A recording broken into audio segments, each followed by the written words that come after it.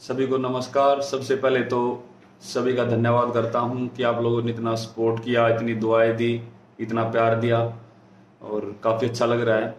और साथ में मैं बताना चाहूँगा कि एक अभी मुद्दा उठ रहा है कि जो एक इंटरव्यू में मैंने कहा कि जो एक, जो जेवलिन है पहले थ्रो करने से पहले मैंने अरसद नजीम, जो पाकिस्तानी जेवलिन थ्रो है उससे जेवलिन ली।